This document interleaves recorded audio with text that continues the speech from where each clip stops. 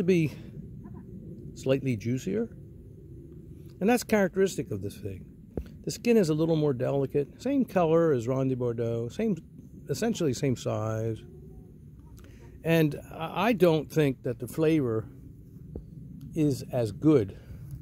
Nor do I think it is as an abundant producer, personally, uh, as Ronde de Bordeaux. Uh, but it does pretty well for itself. It's too early. It's only been a couple years to really judge it conclusively. I don't like judging figs conclusively in a year or two. It takes three years, four years is even better. Certainly three is a minimum to really make a judgment on a fig variety. There's so many things to consider, so many variables, so many factors. Does it crack? Does it split? Is it well adapted in the climatic zone that you live in? Is it cold hard? Is it this? Is it that? You know, how does it compare in taste? How does it compare in size? Let me taste this one.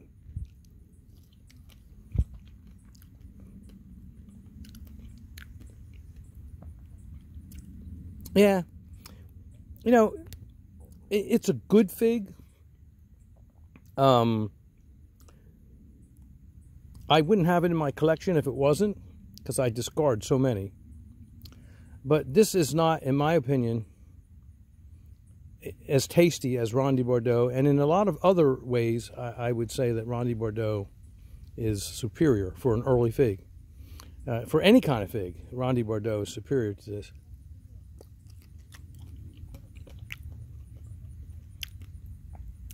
Yeah, it's very good. I could eat these all day, but it's lacking that extra exquisite quality of perfection that you can find in a Smith or in a Ronde de Bordeaux. And other than that, uh, it, it, it's a very interesting variety. Now, I'm going to, so that you know, I'm going to cut this down all the way down to here in the fall and let this start to grow more branches and I'm going to start to scaffold it more properly. I've got a tide, which I talked to you about before. I like to train my trees. And here's another one that's ripe, really. There we go. Nice.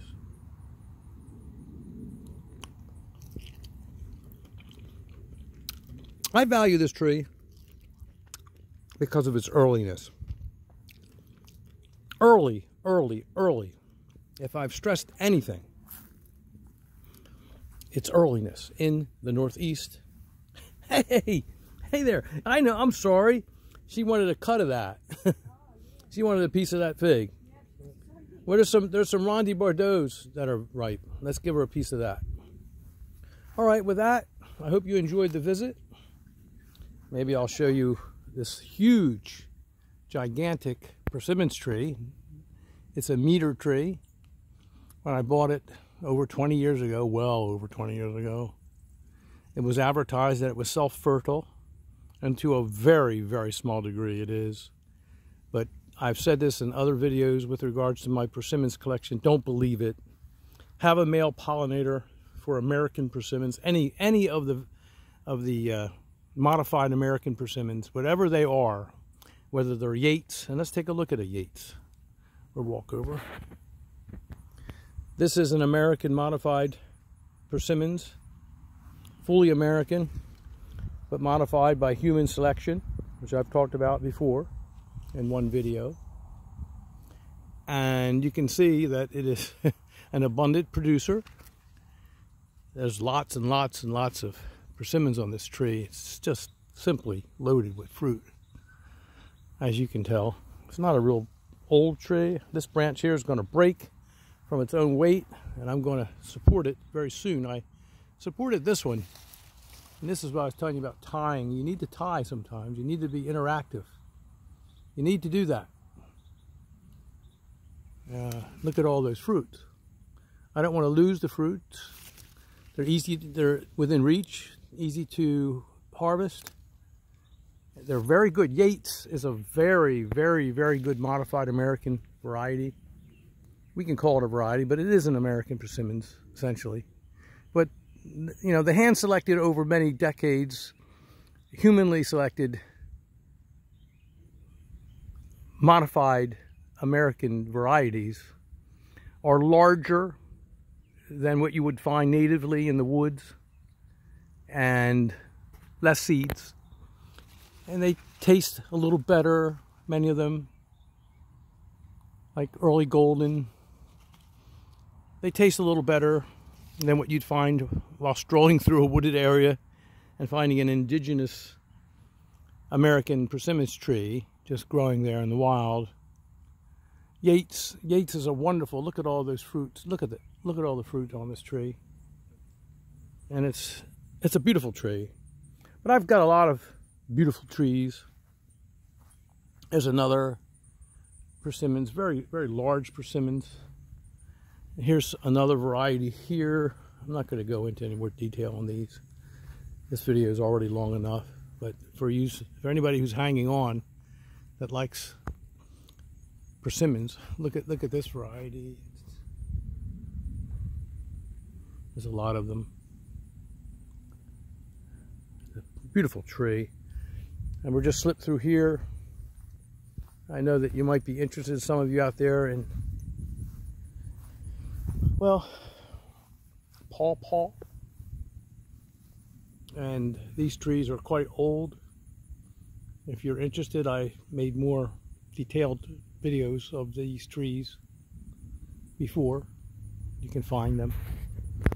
And there's a lot of pawpaw a lot of fruit on these trees. These are very large trees for pawpaw and well, well over 20 years old.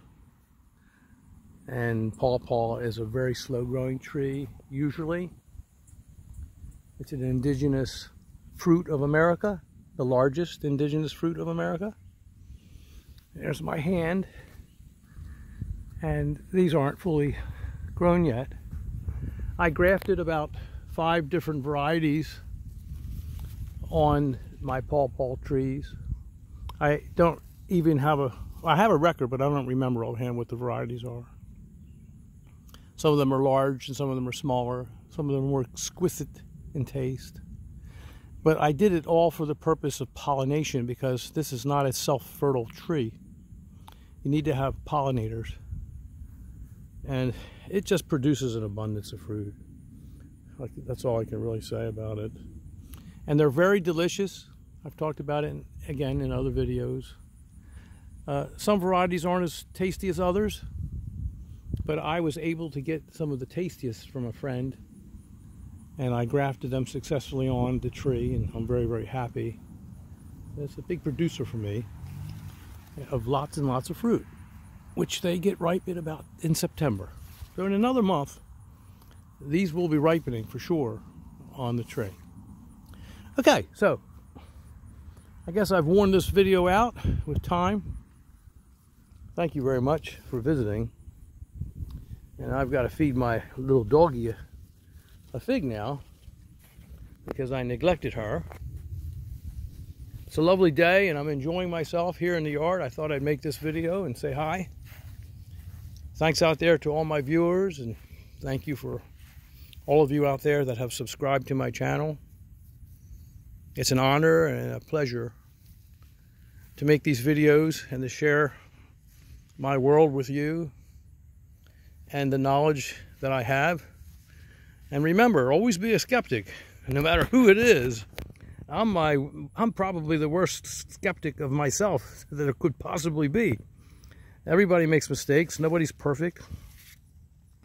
I hear a lot of false information out there on YouTube. And, you know, hey, I don't agree with a lot of it. And I'm sure there's plenty of people out there that don't agree with everything I say. But I try to back up what I say. I try to show, you know, by example, what I usually talk about. You know, and I try to reserve my opinions until I'm relatively certain uh, of what my final conclusion is about something, one subject matter or another. Uh, I do my best, but I certainly make mistakes. Forgive me my mistakes, as I forgive others their mistakes. We're human beings. There is no perfection in being human. There is no perfection that I have seen anywhere in the universe. There just is no perfection. If we can accept that, well, we can be a lot more flexible about how we feel about each other and ourselves even. More forgiving, more compassionate, more tolerant. And so I hope you've enjoyed my video today.